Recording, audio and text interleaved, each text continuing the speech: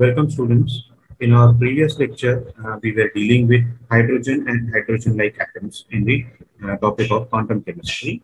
Here uh, we had solved about uh, the Hamiltonian uh, Schrodinger equation and then we have attempted the solution for Schrodinger wave equation where uh, we had dealt it with three variables r, theta and phi.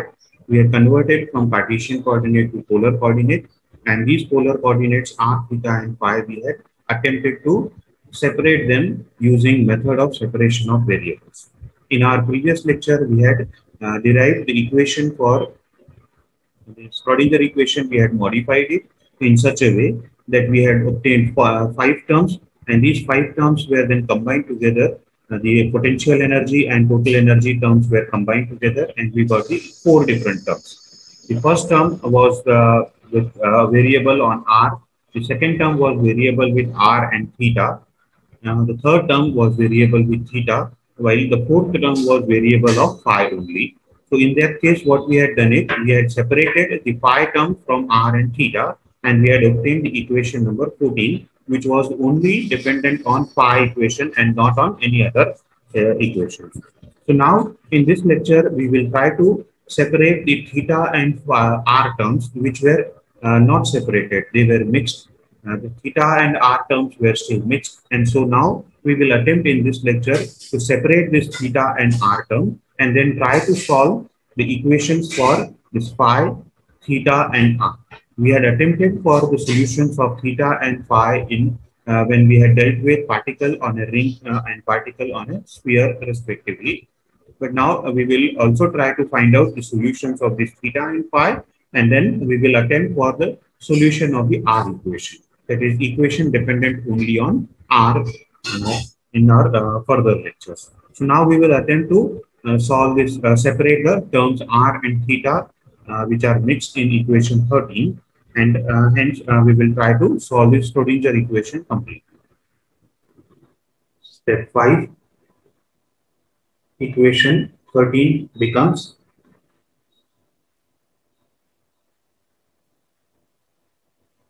sine square theta upon r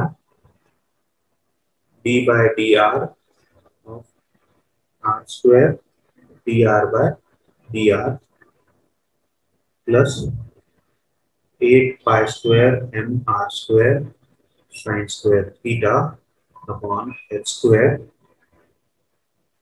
into e plus z e square upon 4 pi epsilon naught r plus sine theta upon p into d by d theta of sine theta dp by d theta minus m square equals 0. So this we got it. Now uh, what we have substituted is ये जो minus m square है so इसको हमने substitute किया यहाँ पर so we got this particular equation. Now, if we divide it throughout by dividing throughout by sine square theta. If we divide throughout by sine square theta, we get ये sine square theta cancel हो जाएगा because we are dividing it. So we will get 1 upon r d by dr of r square dr by dr plus यहाँ से भी sine square theta निकल जाएगा it will be eight pi square M R square upon H square into E plus Z E square upon four pi epsilon naught R plus यहाँ पे एक sine theta cancel हो जाएगा। So we will have 1 upon P into sine theta d by d theta sine theta dp by d theta minus m square upon यहाँ पे sign नहीं था so sine square theta रहेगा आएगा this get it as equal to 0 let this be equal to equation number 50. यहाँ से हम separate कर सकते हैं अभी इजीली दिस आर टर्म्स अगर आप ये इसको ध्यान से देखोगे तो we have this as term one this as term two this as term three and this as term four इसमें जो वन एंड टू है, ये सिर्फ़ आर पे डिपेंडेंट है थीटा नहीं है। थ्री एंड फोर सिर्फ थीटा पे डिपेंडेंट है आर नहीं सो So we obtained this phi equation separately and after that uh, we got whatever the remaining part was there that was mixed with r and theta. So the theta term and r term was mixed together. So we wanted to separate this theta and r then and for that we had uh, divided throughout the equation by sine square theta. And from that what we have got it was this particular equation where the term 1 and 2 this term 1 and 2 are dependent on R only. Term 1 and 2 are dependent on R only where there is no theta term. Term 3 and 4 are dependent on theta only and it is independent of r. So what we have done is we have separated the two variables r and theta which were mixed together. Now we have separated them such that the first two terms represents r term and second two, uh, third and fourth term represents the theta term here. So now we have separated these two as uh, these are uh, variable only on uh, one variable. So what we can do is that we can uh, take out the sum of first two terms as equal to uh, some constant, say beta, and third and fourth term then can be equated to say minus beta. So that this beta minus beta equals to 0. So this term should be equal to beta and this term should be equal to minus beta. So when we do that, what we get is first this term we have 1 by r dr by d by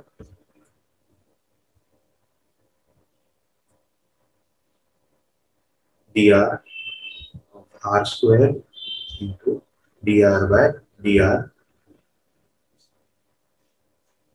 plus 8 pi square mr square upon x square into e plus z e square upon 4 pi epsilon naught r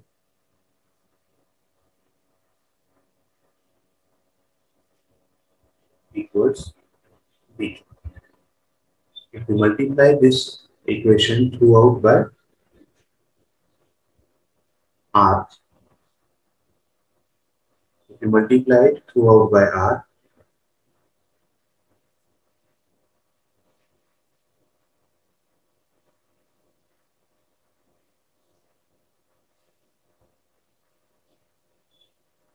we get d by dr of r square dr by dr plus 8 pi square mr square upon h square into e plus z square by 4 pi epsilon naught r of r equals beta r. So that equals beta r can be done as minus beta r equals 0 we have just brought this beta term in inside so that it becomes minus beta.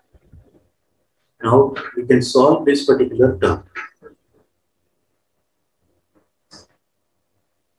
Solving this term, what we can get is this term is very much similar to this is a function of r, this is also a function of r. So it is a differentiation of a product of two functions.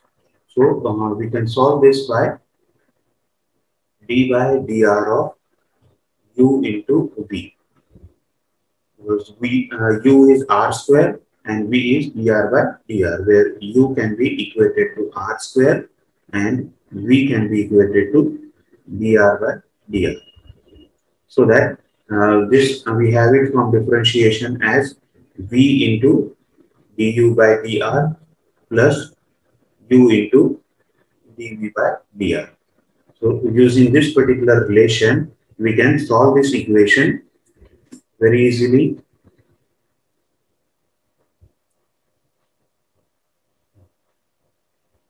So this now becomes our first dr by dr, we keep it constant as such and we will differentiate r square. Differentiation of r square is 2r plus we are keeping r square as the same and we are differentiating this with respect to r. So it will be d square r by dr square plus this term will be as it is 8 pi square mr square upon h square into e plus z square by 4 pi epsilon naught r in r minus beta r equals 0. This can be written rearranged by uh, dividing first throughout by r square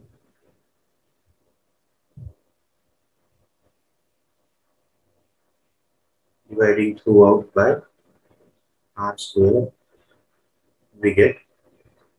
First uh, this is uh, second derivative. This is first order derivative. So we will write first second order derivative. तो यहाँ पे अगर हम are square से divide करते हैं तो ये आर स्क्वायर टर्म निकल जाएगा. And we will have D square R by D R square plus यहाँ पे एक आर निकलेगा दूसरा आर डिनोमिनेटर में रहेगा. So we will have to by r d r by d r plus ये आर स्क्वायर यहाँ से निकल जाएगा it will be we are dividing it by r square so this term will get cancel we will have 8 pi square m upon h square e plus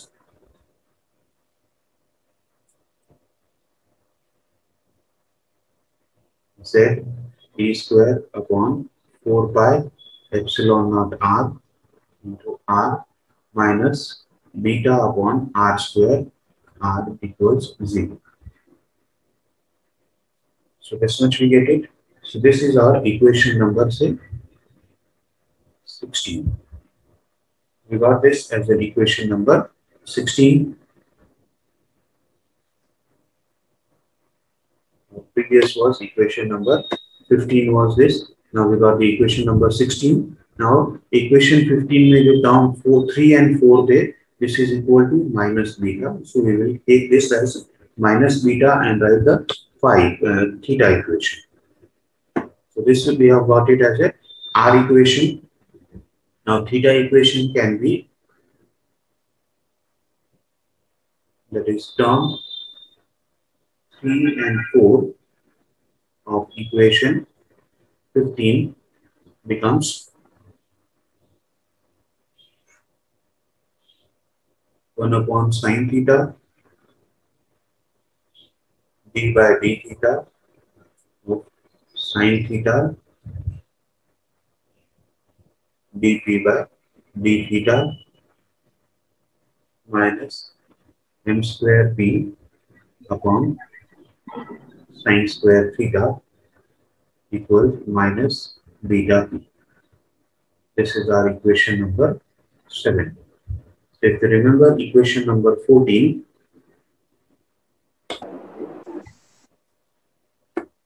this was our equation number 14, 1 upon f d square f by d phi square equals minus m square.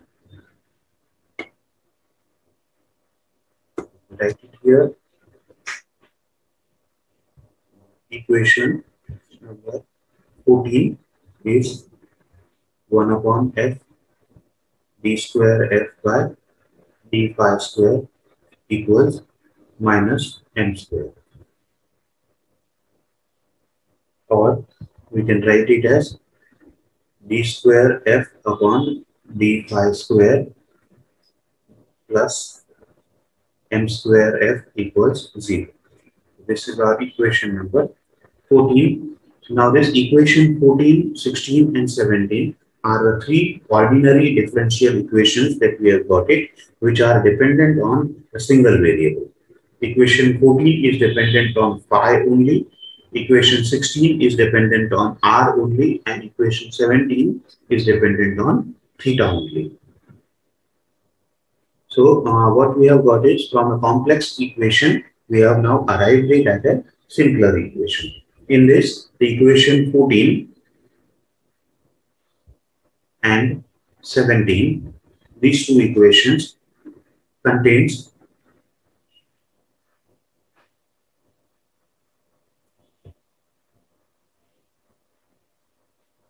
only angular part or angular variables. It contains only angular variables. So these are called as the angular equation.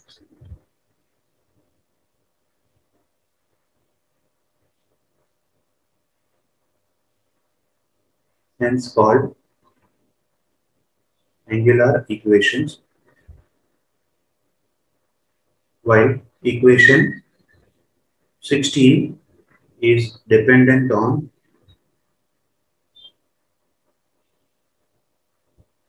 R only hence it is called radial equation.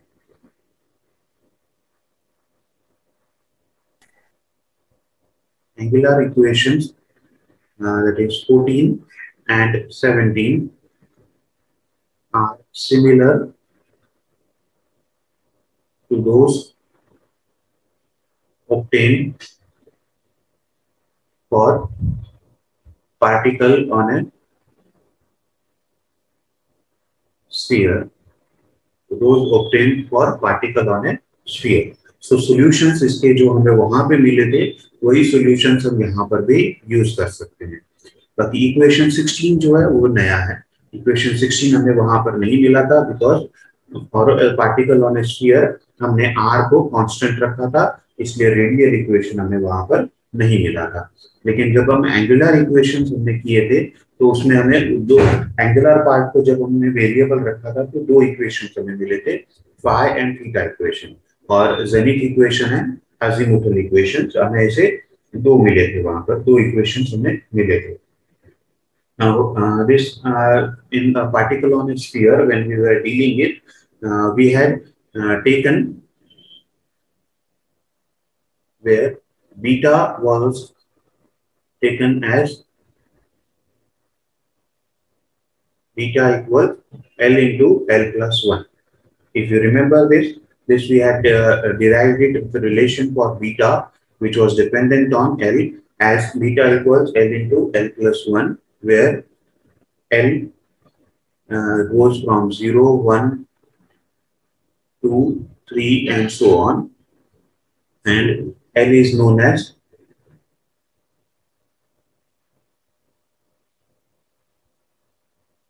angular quantum number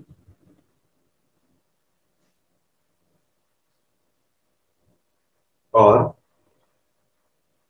the azimuthal quantum number.